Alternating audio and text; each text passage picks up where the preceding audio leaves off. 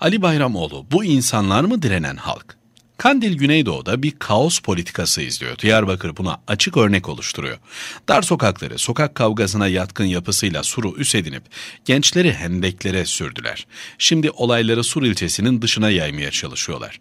Dün Sur ilçesindeki sokağa çıkma yasağını protesto etmek için yürüyen gruplarla polis arasındaki çıkan çatışmada şehir savaş alanına döndü. Esnaf dükkanlarını açamadı, çocuklar okula gidemedi, iki kişi hayatını kaybetti. Bu tablo kendiliğinden bir tepki dalgasıyla değil, hesaplı bir arayış sonucunda oluşmuş durumda. Kaos politikası adını verdiğimiz de budur. Gündelik hayatın akışını bozmak, şiddeti çok yönlü bir baskı olarak kullanmak, sivillerin kalkan olarak kullanıldığı bu şiddetin, bu şiddet tipinin ürettiği her tahribatı, her ölümü devletin planlı bir eylemi ilan etmek ve sahte yeni bir mağduriyet iddiası üretmek fiili bir siyasi egemenlik alanı peşinde koşmak, bu gerçekleşmediği ölçüde toplumsal düzeni çalışmaz hale getirerek bölgeyi Suriyeleştirmek. Rehin alınan sivilleri direnen halk olarak tanımlayıp eylemleri siyasete geri dönme arayışı olarak lanse ederken aslında diyalogtan iyice uzaklaşmaya soyunmak, örgüt tarafından sivil halkın gündelik hayatın, tarihin, kentlerin, mekanların kalkan haline getirilmesinde, tahrip edilmesinde, gözden çıkarılmasında seviye hiç bu kadar yüksek olmamıştı. Suriyeleştirmek nasıl bir şeydir? Diyarbakır Esnaf ve Sanatkarlar Odaları Birliği Başkanı 7 Haziran'daki seçimden bu yana Diyarbakır'da 500 iş yerinin kapandığını, sadece Merkez Sur ilçesinde kapanan iş yeri sayısının 200 olduğunu, bu ilçede işten çıkarılanların sayısının bine ulaştığını söylüyordu geçenlerde. Yaşanan olaylar nedeniyle esnafın yanında çalışan 5000 aşkın kişi işini kaybettiğini, bölgedeki emlak değerinde %20'lik bir düşüş yaşandığını, birçok girişimcinin evini iş yerini satıp gittiğini hatırlatıyordu. İnsansızlaştırmak, çorak hale getirmek, endişeye sürüklemek, kaçırtmak. Başka anlamı var mı? Vahap Coşkun bir süre önce yayınlanan Hendey'in Hedefi başlıklı etkileyici yazısında şunları söylüyordu.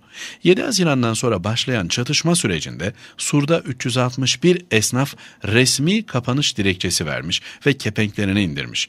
56 esnafsa dükkanını Diyarbakır'ın başka bir yerine taşımış. Yani Sur 5 ayda 400'ün üzerinde iş yerini kaybetmiş. Sur'da ikamet edenlerin yarısı göç etmiş. Çatışmaların yoğun olduğu ve sokağa çıkma yasağının uygulandığı mahallelerde ise göç oranı %80'i bulmuş. Evlerini terk edenlerin can havliyle başlarını sokacak bir dam arıyorlar. Çoğunlukla Diyarbakır'ın başka mahallelerine gidiyorlar. Akrabalarının evlerine sığınıyorlar. Sur, halkın en yoksul kesiminin ekonomik olarak en dezavantajlı grupların yaşadığı bir yer.